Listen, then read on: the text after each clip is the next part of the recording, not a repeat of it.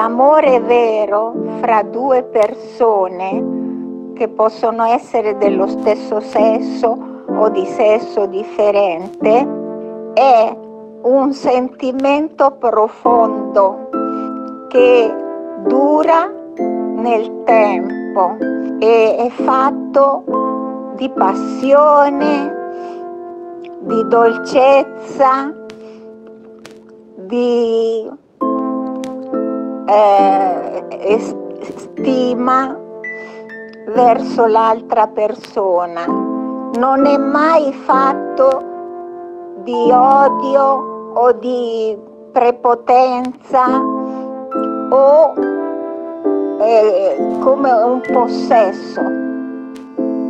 L'amore deve essere libero e spontaneo e ti deve far sentire bene. E, e quindi quella è la vera relazione. E avere molte cose anche in comune e però avere ognuno il proprio spazio libero, il proprio spazio libero, il proprio spazio libero